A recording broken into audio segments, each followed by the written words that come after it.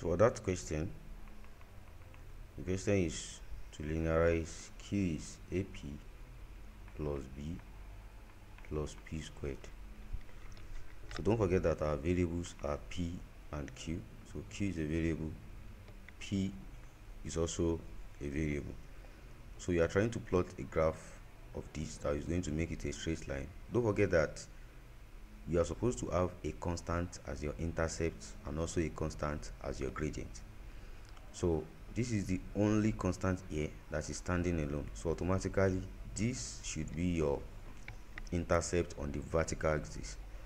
So that means that you are left with this which is completely a variable and this which is completely a variable and this which is what? A variable and a constant.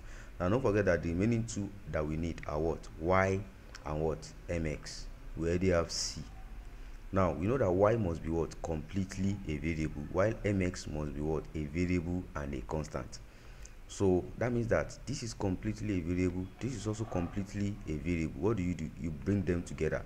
So it becomes q minus p squared equal to then we are left with what? Ap plus b.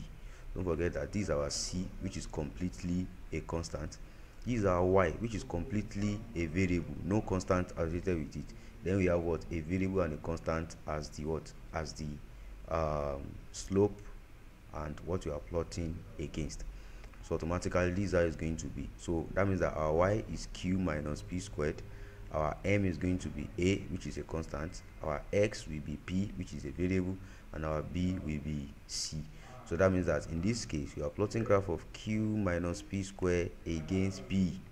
Then the slope is going to be a and the intercept on the vertical axis is going to be b. So that's going to be the solution to the question